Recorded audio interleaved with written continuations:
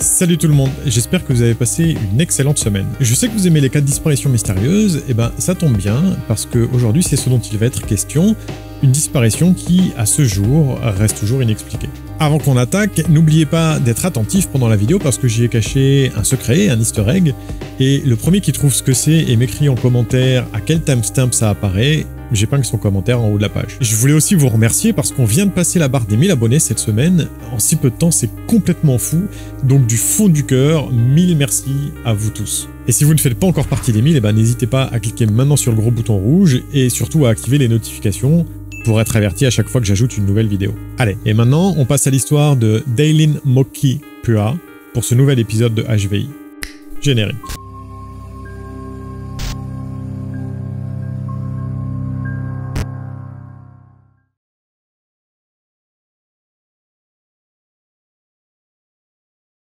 L'histoire d'aujourd'hui se déroule sur l'une des îles de Hawaï, l'île de Oahu. C'est la troisième plus grande île de l'archipel, elle compte près d'un million d'habitants répartis dans différents endroits, dont vous avez sans doute déjà entendu le nom. Honolulu, bien sûr, la capitale d'Hawaï, mais aussi Pearl Harbor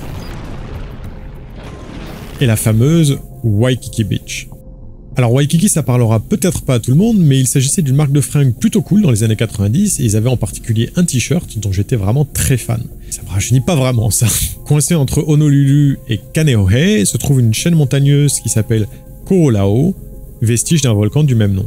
Suite à l'attaque de Pearl Harbor en 1941, l'armée américaine a intensifié son activité militaire dans le Pacifique, et en particulier son activité militaire navale. Et pour cette raison, afin d'améliorer les communications radio avec les différents navires de sa flotte, l'armée a décidé d'installer, de construire des antennes dans la vallée de Haiku et sur le sommet le plus élevé, une station radio top secrète. Comme vous pouvez le voir, la pente est plutôt raide et à l'époque, plusieurs échelles de bois avaient été installées à différents endroits parce que sans ça, c'était tout simplement impossible de grimper et d'accéder jusqu'à la station. La station a été officiellement commissionnée en 1943 et elle a été utilisée par l'armée jusque dans les années 50 à peu près, date à laquelle elle a été transférée aux gardes-côtes. Au milieu des années 50, quelques petits aménagements sont faits et entre autres, les échelles de bois sont remplacées par des escaliers métalliques avec une rambarde. Au total, l'escalier a 3922 marches qui s'étendent sur un chemin de 17 km de long avec un dénivelé positif de 1533 mètres. Ouais, ça grimpe et ça grimpe sec. Et la pente est plutôt vertigineuse comme vous pouvez le voir. Cet escalier a d'ailleurs été surnommé Stairway to Heaven, ce qui veut dire escalier vers le paradis en français. Dans les années 70, les gardes-côtes ont autorisé l'accès au public à l'escalier ainsi qu'à la station radio, mais suite à un épisode de Magnum, Bon bah ça non plus, ça me rajeunit pas. La fréquentation du lieu est devenue trop importante et l'accès a été complètement interdit au public en 1987 par un arrêté municipal. Non seulement parce que le chemin dans son ensemble est extrêmement dangereux et la moindre erreur peut être fatale, d'autant plus qu'avec la surfréquentation de l'endroit, l'état de l'escalier se dégrade très rapidement, mais aussi parce que l'endroit n'a jamais été aménagé comme un endroit touristique et donc, par exemple, il n'y a au pied du chemin aucun parking officiel. Et du coup, certains visiteurs se garent parfois un petit peu à l'arrache, voire même se garent sur les propriétés privées des locaux qui, on peut le comprendre, sont un petit peu agacés. Puis en janvier 2015, une violente tempête a encore plus endommagé les escaliers, les rendant encore plus dangereux, et la simple interdiction par arrêté municipal s'est transformée en un délit. L'entrée du chemin a été grillagée, et il y a maintenant un garde qui surveille et qui dit qui, qui rentre et qui qui rentre pas. Bon, je vous préviens, c'est moi qui dis qui qui rentre dans la discothèque et qui qui rentre pas, ok? Bon ouais, c'est l'épisode de la nostalgie aujourd'hui ou quoi? Du coup, à partir de janvier 2015, quiconque se fait prendre sur le chemin risque la garde à vue et une petite amende de 1000 dollars. Mais vous vous en doutez, ça n'empêche pas chaque année un très grand nombre de personnes de braver l'interdit et de quand même faire la randonnée, qui soyons honnêtes, à la fin, offre une vue quand même assez incroyable. Bon, et vous l'avez sans doute compris aussi, la personne dont je vais vous parler aujourd'hui, c'est sur ce chemin qu'elle a disparu, et dans des circonstances vraiment mystérieuses.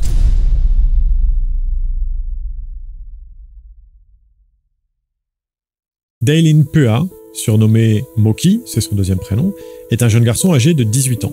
Il habite à Kealakekua, sur la plus grosse île d'Hawaï, où il est étudiant dans une école dite d'immersion, c'est-à-dire que, en plus de son cursus normal, il apprend le Hawaii, le langage de ses ancêtres, ainsi que leurs us et coutumes, leurs danses, bref, tout ce qui a trait à la tradition hawaïenne. Moki est un passionné de nature, de randonnée, et c'est aussi un photographe amateur. Dès qu'il en a la possibilité, il enfile son sac à dos, ses chaussures de marche, prend son appareil photo, et part à l'aventure, comme par exemple cette descente en rafting qu'il a faite en Californie en juillet 2014. En février 2015, à l'occasion d'un voyage scolaire, il se rend sur l'île de Oahu. Sa grand-mère, Martha Bear, y habite, à Waianae plus précisément, et c'est dans cette ville que Moki et ses camarades ont leur hébergement. Du coup, Moki en profite pour passer du temps avec sa grand-mère, il y passe ses soirées et dort chez elle. Le mercredi 25 février 2015, alors qu'ils sont en train de dîner, Moki fait part à sa grand-mère de ses plans pour le lendemain. Il a vraiment envie de faire cette fameuse randonnée, celle qui mène à la station radio en haut des Haiku Stairs. C'est le nom officiel donné au Stairway to Heaven. Il a d'ailleurs fait un post sur Facebook à ce sujet en demandant à ses amis de lui souhaiter bonne chance, parce que la randonnée est vraiment difficile, et il le sait. Mais sa grand-mère lui rétorque qu'il ne peut pas parce que c'est illégal et que s'il se fait attraper, bah, il risque de finir en garde à vue et pourrait avoir à payer une amende plutôt salée. La conversation s'arrête là-dessus, il change de sujet et finissent la soirée, puis Moki va se coucher de bonne heure. A-t-il renoncé à son projet? Malheureusement non. Il fait d'ailleurs un nouveau post sur Facebook le lendemain, jeudi 26 février, pour indiquer qu'il va commencer sa randonnée. Mais on peut supposer qu'il a été vu par un garde ou qu'il a été dérangé, parce que Moki rebrousse chemin et ne fait pas la randonnée.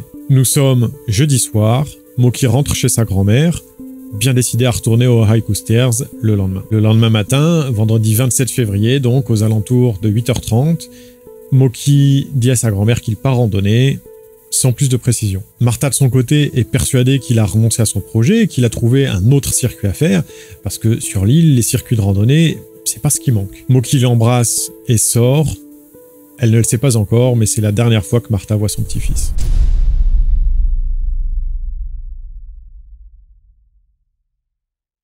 Pour se rendre au point de départ du Haiku Trail, Moki prend un bus reliant Waianahe à Kaneohe. Il descend à une station en ville et s'approche de l'entrée des Haiku Stairs à pied, sauf que cette fois-ci, pour être sûr de ne pas se faire repérer, il s'arrête un petit peu avant, bifurque et emprunte un passage secret qui contourne le poste de garde et repique sur le Haiku Stairs un petit peu plus tard.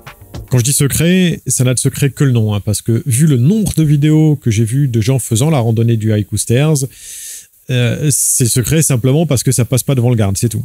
Et après un petit moment à marcher hors piste, Moki finit par retomber donc sur le Haiku Stairs et il commence l'ascension. Arrivé à proximité du sommet, il s'arrête, fait une pause et prend une photo qu'il envoie par SMS à ses proches. Je vous la montre dans un instant parce qu'il y a des choses à en dire de cette photo qui est officiellement la dernière trace de Moki. Le soir venu, ne le voyant pas rentrer, Martha prévient les secours. Lorsqu'il lui demande si elle a une idée de où il a pu aller randonner, elle leur répond que non, parce que souvenez-vous, elle lui avait dit de ne pas aller sur la Trail et naïvement, elle pensait qu'il l'avait écouté. La police fait donc une géolocalisation du téléphone de Moki et découvre que son téléphone a été pingé au pied des escaliers à 11h. Mais il est trop tard pour lancer les recherches, la nuit est déjà tombée. Le lendemain matin, dès les premières lueurs du jour, les pompiers d'Honolulu, dirigés par le capitaine Paul Bass, installent un camp de base au pied de la montagne. Il est aux alentours de 6h du matin, les premières équipes de pompiers et de secouristes sont prêtes à commencer les recherches, mais la météo est beaucoup trop mauvaise, il pleut des cordes, ce qui rend le terrain beaucoup trop dangereux, et les recherches doivent attendre 8h30 pour commencer. Toute la journée, les pompiers et équipes de secours en montagne parcourent le Haiku Trail de long en large, mais aucune trace de Moki. Le lendemain, dimanche 1er mars, rebelote. De très nombreuses équipes de pompiers, maintenant rejoints par les amis, la famille et des volontaires, ratissent toute la zone en vain. À 16h44 ce dimanche 1er mars, le capitaine Paul Bass met fin aux recherches. Le lendemain, lundi 2 mars, deux infirmières militaires du continent font une randonnée dans les parages de l'autre côté de la montagne sur un sentier qui s'appelle Mona Lua. Elles prétendent qu'alors qu'elles étaient sur une portion assez dangereuse du chemin, avec le chemin large d'à peine 1 mètre et de part et d'autre des ravins vertigineux, elles auraient entendu quelqu'un appeler à l'aide. Elles préviennent immédiatement les secours, les pompiers prennent leur témoignage très au sérieux et même si c'est complètement de l'autre côté de la montagne, ils se disent que peut-être Moki a atteint le sommet et est redescendu sur le flanc sud et pourrait avoir eu un accident à ce moment-là. Toutes les équipes convergent donc vers la zone et la fouille. Des équipes de pompiers spécialisées en escalade descendent en rappel de chaque côté du fameux chemin à la recherche de la moindre trace d'accident, traces de glissade, éraflure, végétation cassée, mais ils ne trouvent rien du tout. Mardi 3 mars 2015, soit 5 jours après que Moki ait disparu, les conditions météorologiques deviennent extrêmement mauvaises en plein milieu de la journée, forçant les secours à arrêter les recherches dès 14h.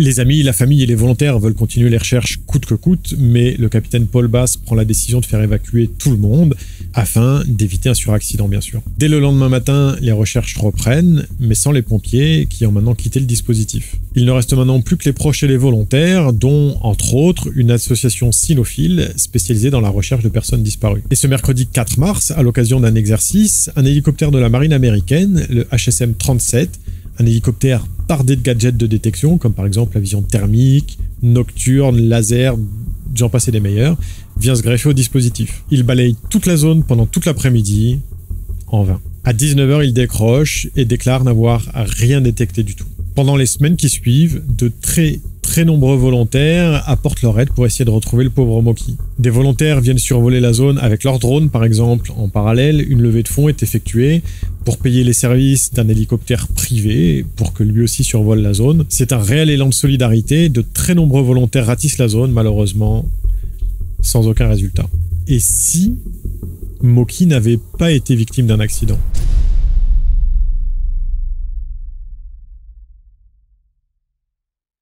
Vous vous souvenez, je vous ai parlé un petit peu plus tôt d'une photo que Moki a prise et a envoyée par SMS à ses proches. La voici. Regardez attentivement. Vous ne voyez rien? Faites pause et dites-moi si vous voyez quelque chose. Bon, et maintenant, laissez-moi zoomer un peu. Et maintenant, vous voyez quelque chose? Eh oui, vous ne rêvez pas, il y a un homme accroupi derrière un buisson, comme s'il essayait de se cacher. Moki n'a pas envoyé de message texte en même temps que sa photo, donc on ne sait pas du tout dans quel état d'esprit il était quand il l'a prise. Était-il amusé de voir un homme dans cette position à cet endroit-là? Surpris Effrayé peut-être? On ne le saura jamais. La famille a multiplié les requêtes dans la presse, à la télé, suppliant l'homme de se manifester, d'aller voir la police, pour leur communiquer tout détail dont ils pourraient avoir connaissance, pour les aider à retrouver leur fils.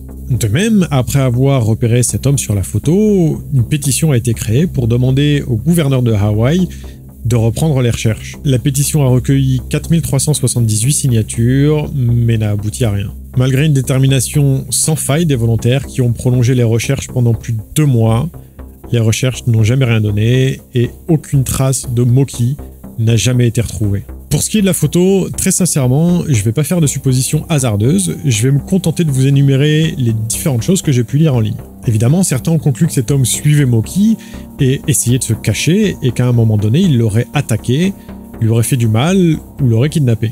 C'est la première explication que j'ai lue, c'est l'explication sensationnaliste, mais en ce qui me concerne, c'est la moins plausible. D'autres personnes ont aussi dit qu'il pouvait juste s'agir d'un autre randonneur, vu que, comme on l'a dit tout à l'heure, malgré l'interdiction, le chemin était très fréquenté. Et si tel était le cas, peut-être a-t-il essayé de se cacher de Moki en pensant qu'il s'agissait d'un garde par exemple, ou, beaucoup moins glamour, peut-être était-il tout simplement en train de faire ce qu'il donne l'impression de faire, la grosse commission.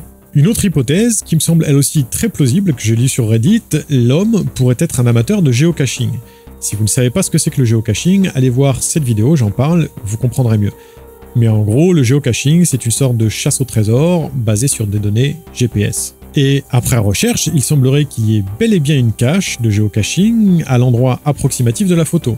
Donc, peut-être que l'homme était tout simplement accroupi pour essayer de trouver la boîte, et peut-être qu'il n'a d'ailleurs même pas remarqué Moki. Certaines autres personnes encore ont dit que cet homme ressemblait à un SDF qui a été vu dans la région à plusieurs reprises, un SDF qui vivrait en dessous de l'autoroute. Mais après les faits, plus personne n'a jamais vu ce SDF. J'ai même lu le témoignage d'un redditeur qui affirme que l'homme sur la photo est un de ses amis, et qu'il serait allé voir la police pour dire absolument tout ce qu'il savait, si tel est le cas, la police n'en a jamais fait mention, et la famille non plus d'ailleurs. Donc le mystère reste vraiment entier.